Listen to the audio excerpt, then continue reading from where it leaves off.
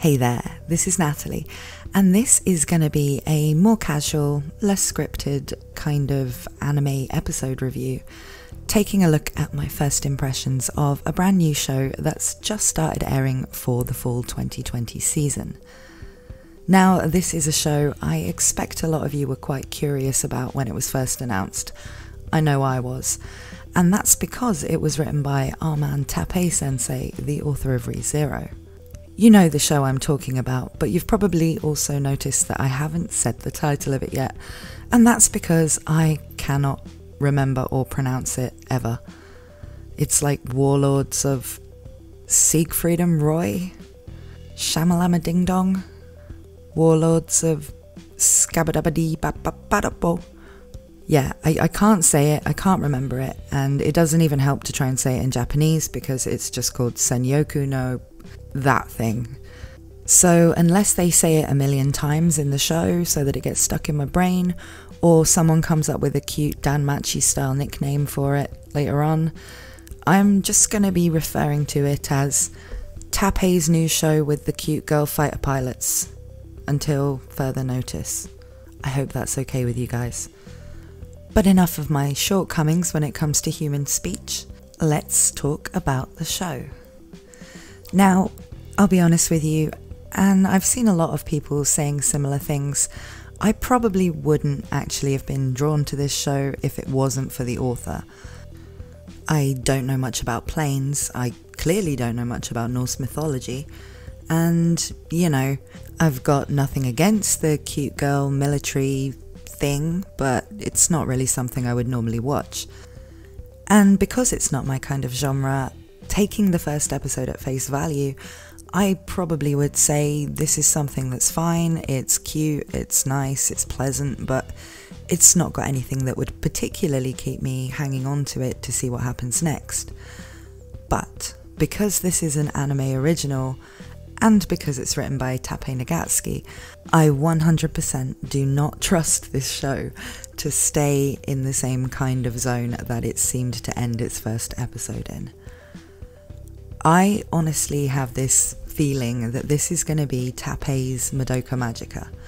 This is going to be a show that lulls you into a false sense of security with the cute girls seeming to have some challenges ahead, but nothing they can't deal with with the power of friendship and their magic.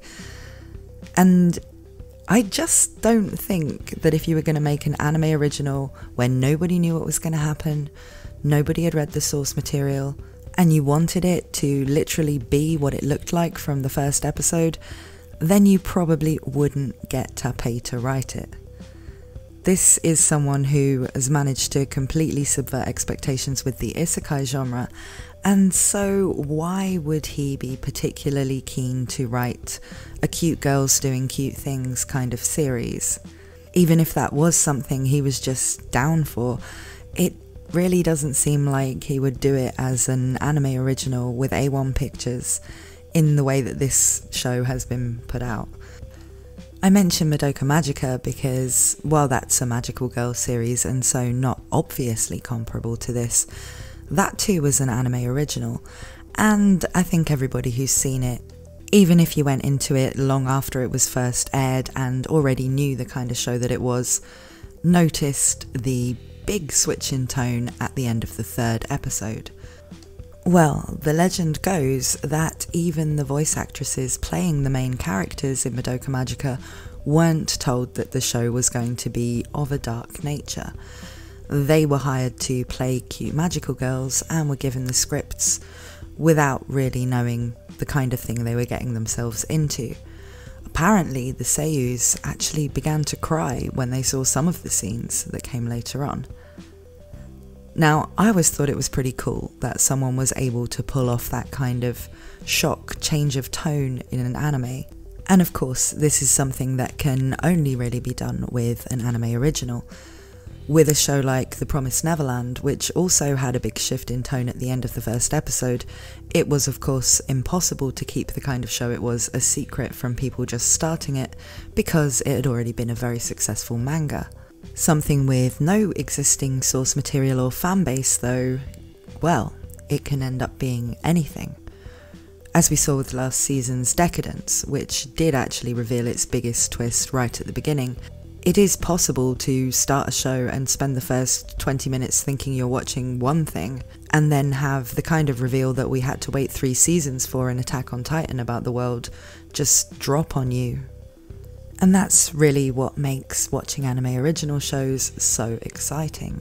I know it, you know it, but more importantly, A1 Pictures know it, and so does Tappei Nagatsuki. So, with the, all of that in mind, I'm kind of expecting that this show's going to take a dark turn sometime in the next one or two episodes. I'm not saying I want to start a Deadpool for the cute anime girls in the show, but either the one with the red plane or the pink plane would be my choice for the one that's going to die horribly. They both kind of give off those too good for this world vibes. But in all seriousness, the show begins with us finding out that the main character, or at least she's framed as the main character in the first episode, uh, Cloudy, Claudia, she is sent from Europe to Japan to help them out with their tentacruel monster problem because she's one of the special Valkyries favoured by Odin, who is sometimes a child, sometimes an old man. Never looks like he did in American Gods though, which I think is a shame. It'd be cool to see an anime Ian McShane, but I digress. The reason why Cloudy has to go to Japan is because their leading Valkyrie was killed. I think she was killed. And so, to make things a bit fairer around the world and redistribute the Super Moe Moe waifu fighter pilot power, she's removed from her duties in Europe and sent to a base in Japan, where aside from the monsters, everything is super nice. There are children playing soccer, people eating curry. Everybody's either a cute anime girl, a kid, or some kind of guy who's super thirsty and therefore really nice to the waifu pilot people. And most importantly, nobody's at all bothered about the fact that Cloudy has earned herself the reputation of being the Shinigami. This is because on all of her previous missions, everybody apart from her has died. Now, you might think maybe that's the dark thing that she's going to have to overcome throughout this series, or maybe she's going to end up getting everybody else killed. But actually, her anxieties about this are dealt with in the first episode, with the three other girls that fight alongside her announcing it to the entire base, and nobody really being afraid to work with Cloudy at all. And then them facing off against a whale monster because Tappei Nagatsuki either really likes or really hates whales, I, I can't decide which. And despite it being an apparently very difficult fight of the type where in the past those accompanying Cloudy had all died, everybody's just fine and happy at the end. Now, given this is possibly going to be a one season and done kind of story, like Deca-Dence, it wouldn't be that surprising for something like the character's first and main anxiety being dealt with in the first episode so that we can get on with the arc around them all becoming good friends and fighting off the big evil that will probably be introduced later on. In Deca-Dence, we also saw things being introduced and resolved pretty quickly in the same manner, such as Natsumi's issues with her prosthetic arm, thinking that that might cause her to get herself or her companions killed. But given I already feel a bit suspicious about this show ending on such a positive note, I just don't trust that this is going to be the last we hear of Cloudy's Shinigami curse. But what do you guys think? Do you think I'm expecting maybe a little bit too much, and really this is just going to be a lively show about girls fighting monsters in weird pink biplanes? Or do you think that Tappei has a Wham episode waiting for us just a couple of weeks down the line? Let me know in the comments. Thank you for listening. As always, please like and subscribe if you enjoyed this video and you want to see more anime content, including quite likely more commentary about this show as it goes on. If you're new to the channel, I'm also currently reading the ReZero Arc 4 web novel, chapter by chapter audiobook style, if you want to check that out. The next will be chapter 4, which I'm hoping to have out tomorrow.